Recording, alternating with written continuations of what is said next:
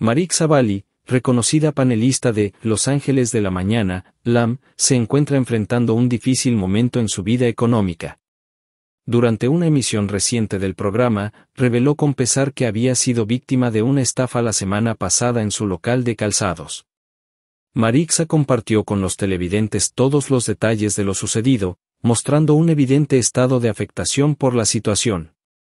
En un momento del programa, el conductor Ángel de Brito notó la quietud de Marixa y le preguntó por el motivo. La panelista decidió entonces explicar con total sinceridad lo ocurrido, revelando que fue estafada en su local, presumiblemente con los nuevos billetes de 10 mil pesos.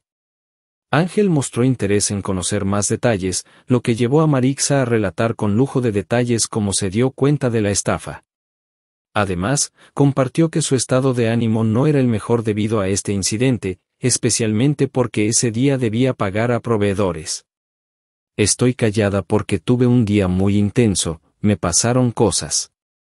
Me quedé caliente, hoy es día de pagar proveedores y ayer recibí, vinieron clientes con billetes nuevos de 10 pesos y al pagarse hoy a proveedores se fueron algunos billetes de 10 mil como si fuesen de mil pesos, explicó Marixa. La situación también afectó a sus empleados, ya que los billetes pasaron desapercibidos al ser revisados por una máquina. Marixa expresó su malestar con los proveedores, quienes no se percataron de la diferencia en los billetes y ahora deben hacerse responsables de devolver el dinero. Ángel, en un gesto de solidaridad, advirtió a los proveedores que tenían hasta el lunes para devolver el dinero o serían expuestos públicamente.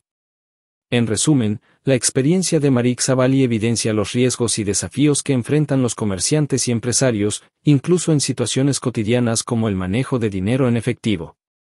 La importancia de la vigilancia y la cautela en las transacciones comerciales se destacan como lecciones clave de esta historia. Además, la solidaridad y el apoyo de los compañeros de trabajo, como demostró Ángel de Brito, son fundamentales en momentos de crisis.